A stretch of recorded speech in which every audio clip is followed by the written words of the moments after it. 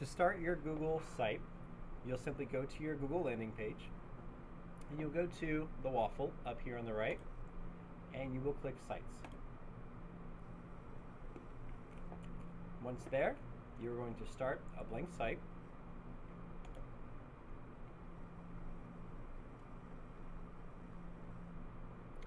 And this will be the beginning of your blog. Your page title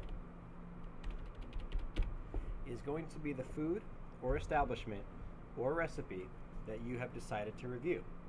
To make mine, I will go ahead and review Kyoto Ramen. That is the location that I had some takeout at the other day, so I'm going to review that. All right.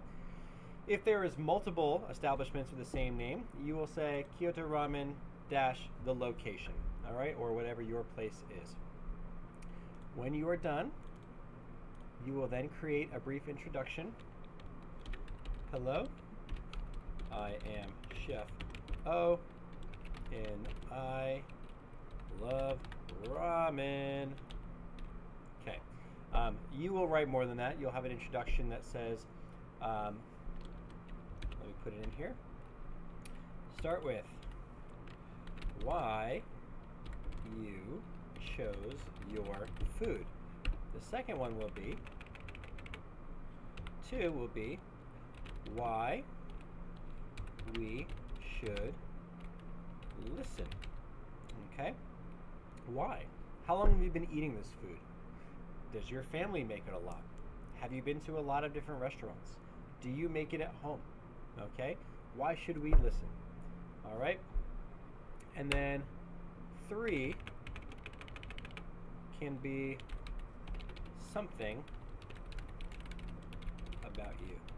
I love surfing and music, and I'm happy to share my ramen page with you. All right?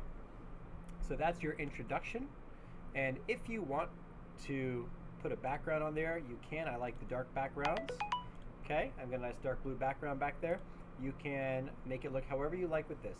Please do not change the theme because eventually that will change based on the home page. So don't change the theme, just keep a very basic theme. All right, then you can start your blog and underneath you can start inserting pictures, you can start inserting uh, video, all right, you can start uh, writing however you would like.